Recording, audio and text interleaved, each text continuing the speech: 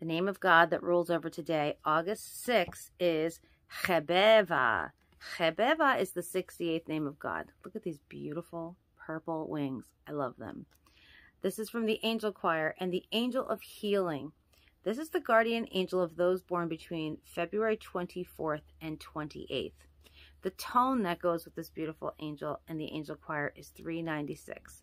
And it corresponds with Ut um, in the Do, Re, Mi, Fa, Sol, La, Ti and the solfeggios and sounds like this.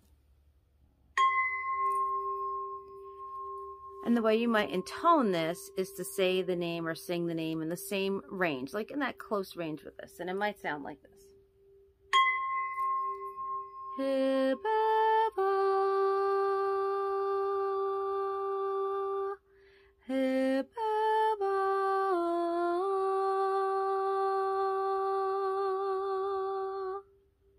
For more information on this beautiful angel and all the other angels in the set, you can check it out at www.aliciabozza.com.